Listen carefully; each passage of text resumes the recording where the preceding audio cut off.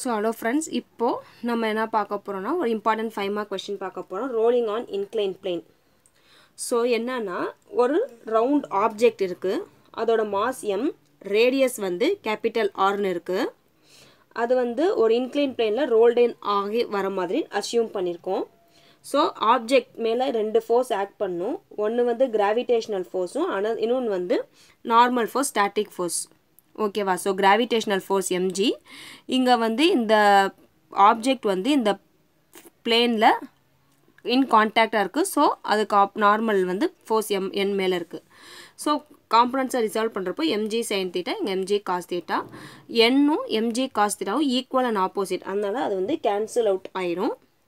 So first Newton செகண்டில் என்னென்னா F equal to MA so cos theta components cancel out ஆகிறனால F இங்கே வந்து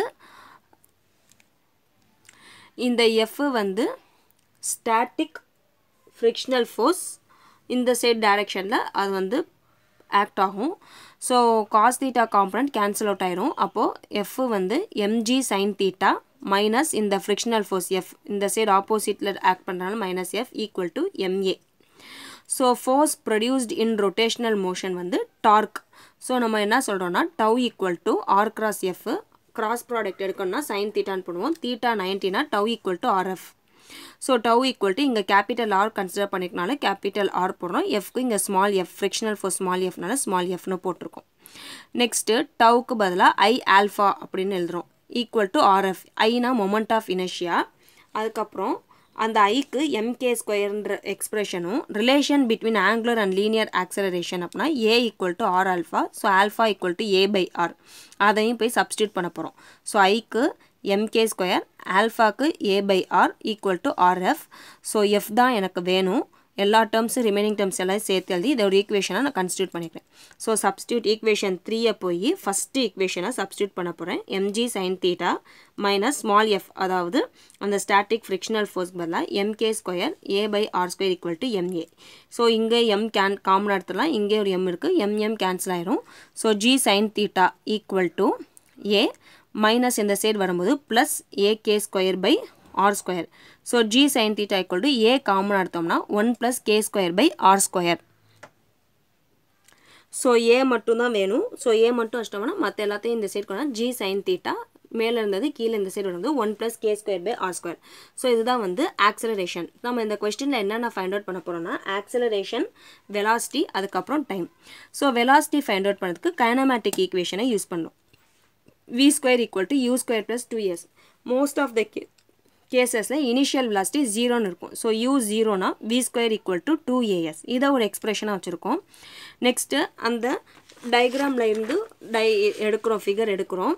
theta H இருக்குது height H இருக்குது இங்கே வந்து எஸ் ஏன்னா வந்து ஆப்ஜெக்ட் வந்து இங்கே தான் ரோல் ஆகிட்டே இருக்குது ஸோ டிஸ்பிளேஸ்மெண்ட் இங்கே தான் நடக்கும். அதனால் இதை எஸ் அந்த டிஸ்பிளேஸ்மெண்ட் எஸ்ன்னு வச்சுருக்கோம். சைன் தீட்டா அப்படின்னா opposite side H by H hypotenuse S so S தான் எனக்கு வேணும். அப்போ H by sine theta so இந்த எக்ஸ்ப்ரெஷனையும் இதையும் இங்கே சப்ஸ்டியூட் பண்ணுறேன் V square equal to two into ஏக்கு பதிலாக இந்த ஆக்சலரேஷன் ஃபைண்ட் அவுட் பண்ண எக்ஸ்பிரஷன் இன்ட்டு எஸ்க்கு பதிலாக H sine H by sine theta sine theta sine theta gets cancel so V square equal to two gH divide by one plus K square by R square V வேணா square root of so இதுதான் வந்து வெலாசிட்டியோட expression acceleration formula velocity by time so எனக்கு time தான் நான் find out பண்ணணும். So T equal to V by A so T equal to root of விஇ இந்த expression வியோட expression இது.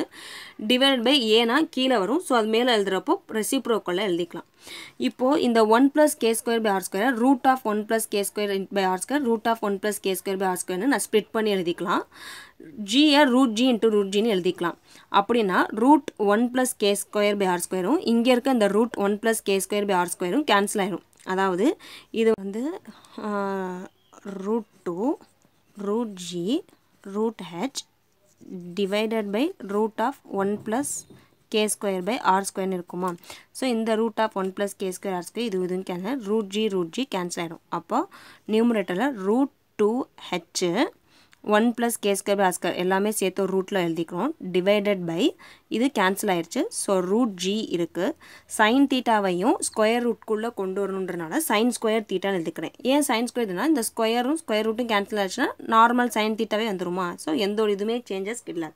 ஸோ இந்த ரோலிங் ஆன் இன்க்ளைன் பிளேனில் நம்ம என்னென்ன ஃபைண்ட் அவுட் பண்ணியிருக்கோம்னா ஆக்சலரேஷன் எக்ஸ்பிரஷன் ஃபைண்ட் அவுட் பண்ணியிருக்கோம் வெலாசிட்டி எக்ஸ்பிரஷன் ஃபைண்ட் அவுட் பண்ணியிருக்கோம் அதுக்கப்புறம் டைம் பீரியட் டீயோட எக்ஸ்பிரஷன் வந்து ஃபைண்ட் அவுட் பண்ணியிருக்கோம்.